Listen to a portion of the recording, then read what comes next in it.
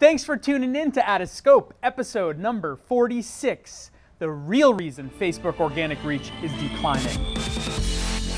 Sports marketing expert Brian Cristiano. Brian Cristiano. Brian Cristiano. Marketers and advertisers and brands always have to keep in mind you have to play to the state of your audience. Sports fans are arguably the most passionate people probably on the face of this planet. If you're not passionate, do something else.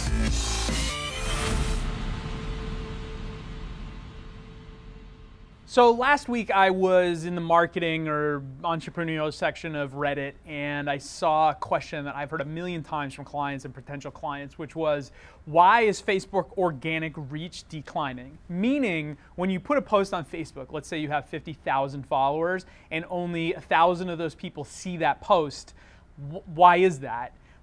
Everyone defaults, clients, people on Reddit, everyone defaults to this. Oh, well, it's because Facebook is trying to make as much money as possible. If they hold that audience back, then they're forcing you to boost the post or to use their ad product. And I think that's for some reason become ingrained in how this actually works, which is complete bullshit and not even remotely part of the truth. Well, it is remotely part of the truth, but it's not the big picture. Organic reach is controllable and it goes to, back to your content. And yes, does Facebook want to make as much money as it can? Absolutely. Does Facebook have the most amount of eyeballs as far as a media platform is concerned right now? Hell yeah, everyone's on Facebook. Um, one out of every five minutes on the internet is spent on Facebook one out of every five minutes is on Facebook. That's massive, right? So 20% of everyone's time is spent on Facebook. Um, why wouldn't Facebook charge for you to reach that audience, right? Especially as a as a brand um, or as a publisher. Why would they not charge for that, right? It'd be stupid for them not to. You pay for every other media source, TV, print, etc. Why should you feel that it should be completely free on Facebook? Is beyond my comprehension. However that's not the start and the end of the conversation. The real reason why Facebook organic reach is decreasing is because your content is getting shittier and shittier and people are putting out more garbage and nobody cares. That's why. And let me explain how this works. Facebook's algorithm, it used to be called EdgeRank. Now it's just called the Facebook newsfeed algorithm filters out things that it thinks will not be relevant to you as a consumer of the platform, as their user. Because if you saw every single thing that every person that you follow posts, and you saw every single thing from every brand that you follow, you would probably would leave Facebook because it's just completely overwhelming. You know how many you know, how many people's coffee shots in the morning do you really care to see? If you maybe you really like to see that. I don't know. I certainly don't. And how many updates of oh, hey, check out our article about this or hey, buy our product about XYZ. You might follow 50, 60, 100, 200 brands.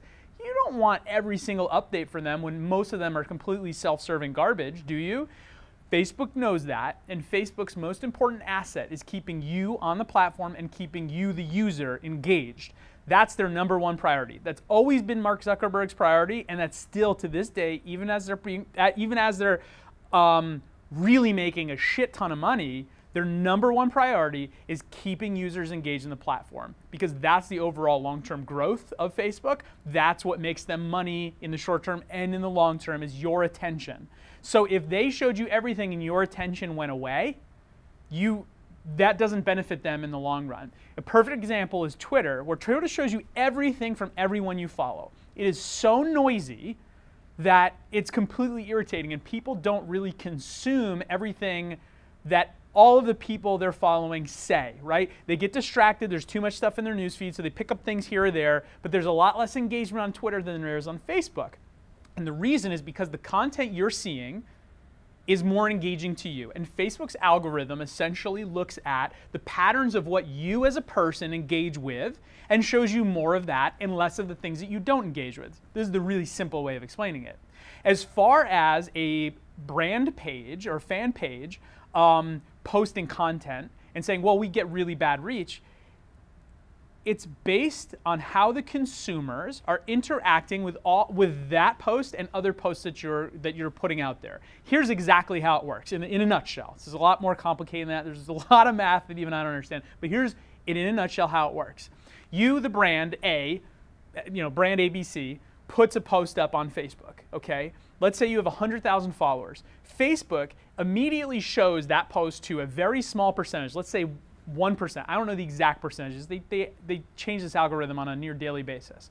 Let's, but a very small percentage of those followers, of the 100,000, they will show this post to immediately.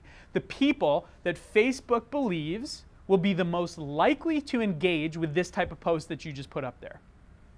If that small percentage of audience engages well, they like it, they comment on it, they share it, they click on it, whatever that engagement level is, and it's a positive one, well, Facebook will now open it up to a larger portion of audience, say 3 to 4% approximately.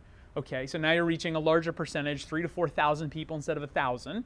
And if those people start engaging with that piece of content more, Facebook recognizes that this is good content. And so they want their consumer base, they want the user to have good content and see this good content. Therefore, they'll start to open those, loosen that reins a little bit more, and more and more people will see it. Based also on the virality of that post, how many people are sharing it, liking it, which shows in other people's news feeds, you'll get people outside of your own community that will see this post. On the flip side of that, if your content is garbage and it sucks, and Facebook shows this piece of content or this post to that first 1%, give or take, and no one interacts with it, there's no likes or very few, low engagement, people scroll past it, they don't click on it, you know, they don't look at the image, they don't enlarge it. Um, if they do nothing, they X out of it or they hide it, then guess what? Facebook says, you know what? No one cares about this. We're not going to waste the time and the space on other people's news feeds with this non engaging content, so we're going to stop showing it. That's why your engagement is so low, which is why really good content is super important. And why, when you have nothing good to say, it's better off that you don't say anything than it is to just put out meaningless garbage on Facebook. Here's the other piece of the equation as well. The more that you keep this up, if you're a content, if you're, let's say you start from one, from zero, right? This is the first, you, you just started your brand page, you got your first however many followers, and you start posting. If you're posting really engaging content, well, guess what? The next, Facebook's going to continue to realize that you, as a brand page, are engaging, right? So it's going to constantly, typically show your content to more people right off the bat. If it sees that no one interacts and no one interacts and no one interacts, and that's a consistency of your page and your brand, well, guess what?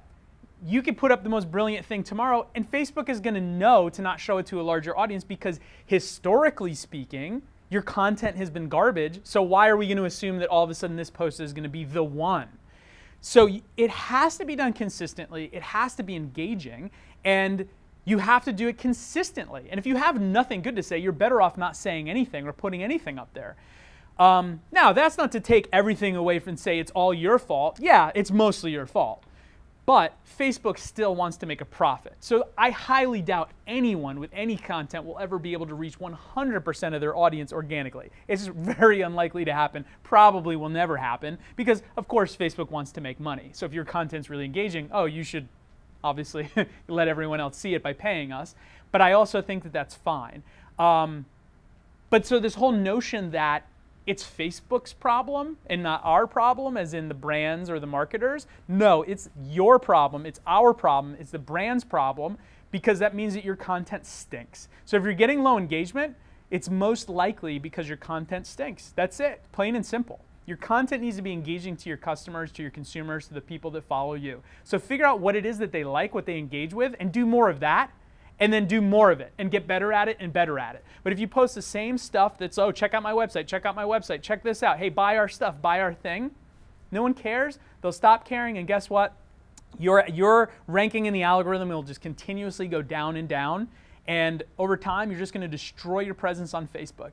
And after you know the Q3 call with Zuckerberg, um, you know hearing how vast Facebook is now and how they're continuing to increase user base, how they're continuing to increase engagement, how video is doing so well, you can't afford to ruin that relation that brand relationship with Facebook. So I think it's super important, and I think it's important that people understand really how it works because wouldn't you rather read awesome content in your newsfeed than a bunch of garbage? That's why Facebook is winning because they're making sure that that's the way that it happens. Thanks for tuning in. Make sure to subscribe. Please subscribe. Um, and that's it. That's all I'm asking of you today. Subscribe, subscribe, subscribe. Thank you so much.